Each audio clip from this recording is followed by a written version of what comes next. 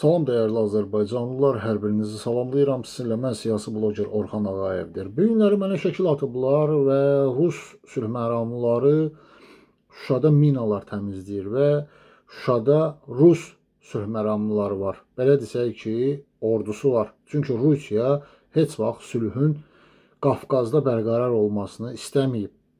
Əcəba, buradan sual edirəm. İlham Əliyev, əgər Şuşa bizdədirsə, və bizimdirsə, sülh məramlılar orada nə gəzir? Nəyə görə müharibə bitən günündən hələ də şəhidlərimizin sayını açıqlamırlar? Nəyə görə Paşinyan canlı yayımda deyir ki, Şuşanı da geri qaytaracağıq. Hadrutu da bu haqqda danışıqlar gedir və Naxçıvandan belə desək Zəngilana o ki Ermənistanın ərazisindən e, körpü gedəcəkdi və onu da verməyəcəyik. Artıq belə çıxır ki, necə deyim, Rusiya öz işini görür və bu qətnaməyə sadiq deyil və Rusiya sənin hakimiyyətinin qarantıdır. Çünki sən öz hakimiyyətini təhlükəyə düşməməsi üçün Azərbaycan xalqı ilə hesablaşmadın. Azərbaycan xalqının şəhidləri ilə hesablaşmadın. Sənin üçün öz hakimiyyətin daha önəmlidir ki, kim Azərbaycan xalqı. Sən Azərbaycan xalqını belə desək satdın. Burada indi mənə şərhdə söyüş yazanlar gedin öz ananızı, bacınıza baxın. Soram söyüş yazın. İlham Əliyev. Mən faktla danışmağı xoşlayıram. Qazaxın 7 rayonu ermənilərdədir.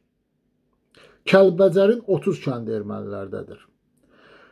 Şuşanın 38 kəndi var, 4-ü bizdədir, 34-ü onlarda. Və nəyə görə? Bir də Hadrut. Hadrutda e, səhv edərəm kəndlərin. Bilirəm ki, 2-3 kənd bizimdir, qalanları ermənilərdədir. Bəs nəyə görə açıqlama verilmir?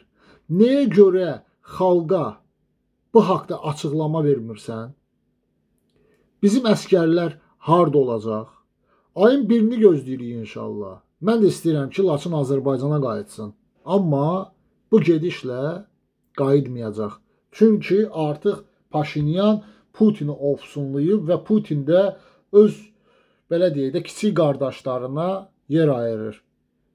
Və bu da sənin hakimiyyətinin sonu deməkdir İlham Əliyev. Hər vəclə biz türk qardaşlarımızla birləşəcəyik, daha sıx birləşəcəyik. Səni hakimiyyətini həqiqətən də tarixin zibilliyinə atacağıq. Çünki sən xəyanət eləmisən Azərbaycan xalqına. Azərbaycan ordusu gedib öz qanı ilə o torpaqları alıb. Sənin oğlun orada iştirak eləməyib, amma deyirdilər ki, Şuşaya məhz balaca Heydər Əliyev Azərbaycan bayrağını sancacaq. Nəsə o döyüşlərdə heç kimin gözünə dəymədi. Bəs nə oldu? Niyə getmədi? Niyə Şuşaya bayraq sancmadı? Öz oğlunu beləmi sevirsən?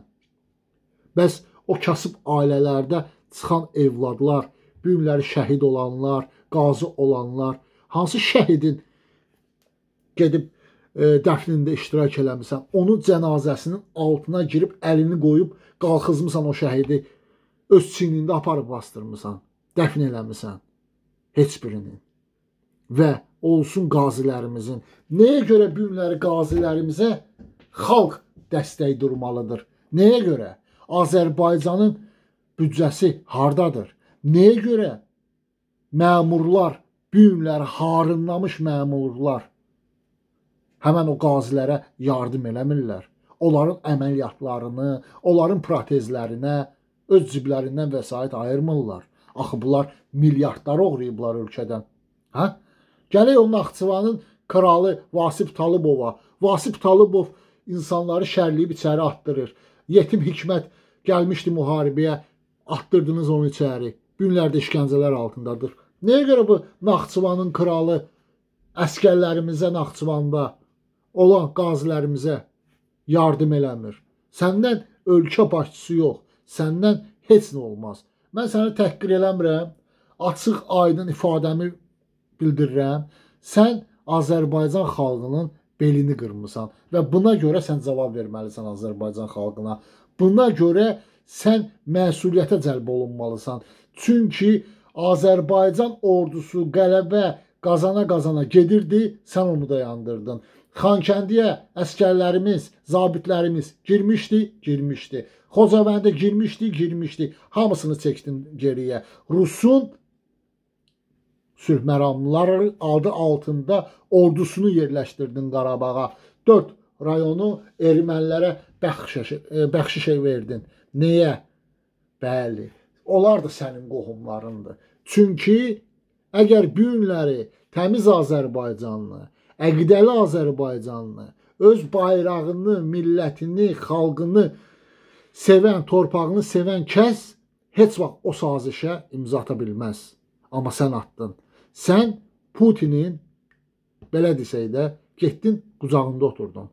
Onsuz da orada oturmuşdun. Amma ikili oyun oynayırdın. Həm Erdo Erdoğanla, həm də ki Putinlə. Amma Erdoğana vurdığın bıçaq zərbəsini o unutmayacaq.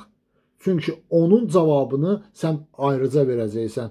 Azərbaycan əskəri bu günləri Şuşadadırsa, nəyə görə Rus sülh məramlıları oranı minadan təmizləyir? Bizim sapyorlarımız yoxdur bəyəm?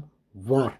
Amma görünür ki, Paşinyanın küçük Paşinyanın dedikləri düz çıxır. Yenə də deyirəm, Allah göstərməsin ki, o Şuşa gedə, o Hadrut gedə ya da o Laçın Azərbaycana qaytarılmaya. Onda bilirsən ki, səni hansı videolar gözləyir və Azərbaycan xalqının hər birinizə xahiş edirəm ki, bu videonu bəyənin və paylaşın. Paylaşın ki, gedib həmən bu Azərbaycanın indiki hakimiyyətinə çatsın. İləşsin bizim sözümüz. Ayılın. Ayılın ay cəmaat. Sizin balalarınızı bu hakimiyyət hakimiyyətdə qalması üçün şəhid elədi. Amma öz evladlarını Avropaya gizlətdilər, Amerikada gizlətdilər, Kanadada gizlətdilər. Bəs sizin evladınız evlad deyilmi? Hə? Onlar məgər bizim qardaşımız deyilmi? Onlar məgər kasıb balaları deyildilərmi? Hamısı yaşamaq istəyirdi. Hamısı ailə qurmaq istəyirdi. Mənim qarşıma şəkillər çıxır ki, baxırsan ki, cavan gəlindir, həyat yoldaşı rəhmətə gedib onun cənazəsinin üstündədir. Körpə uşağı var. Adamın ürəyi qan ağlayır. Ha, İlham Əliyev. Nə olardı ki, sənin də oğlun gedib şəhid olardı, Mehriban Əliyeva oturub ağlayardı. Hə? Nəyə görə eləmədin? Çünki sən bilirdin ki, bu oyundur və sən heç vaxt Azərbaycanı sevməmisən. Azərbaycanlılara həmişə nifrət eləmisən və ona görə də bu gündəyik. Xalq acından bu günləri çörək tapmır yeməyə. Mənim WhatsApp nömrəm dağılır insanların əlindən ki, Azərbaycanda karantindir, müharibə dövrüdür, heç kim işləmir və acıq. O mesajların artıq çoxsu yüzü vurub keçib. Yəni elə müraciətlərin və həqiqətən də mən bilirəm və bilirdik ki, sən xainsən. Ona görə də Azərbaycan xalqı özü sənin həyatını meydanlarda qoymalıdır ki, sən cavab verəsən. Sənin həyatın Azərbaycan xalqı üçün artıq önəm kəsb eləmir. Trollar indi yazacaq ki, ilhamla irəli, nə bilim, nə, nə. İlhamla gördük hara kimi getdiniz.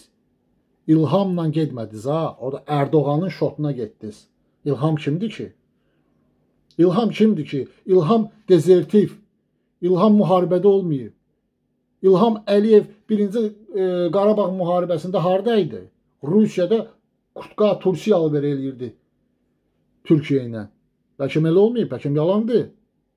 Ona görə də əziz Azərbaycanlılar, hamınız ayıq olun ki, Azərbaycan xalqını məhv eləməsinlər. Bax bu rejim. Çünki qanı qanımızdan can canımızdan deyil. Bəyənin və paylaşın. Hüseyn TV kanalına abunə olun. Sağ olun.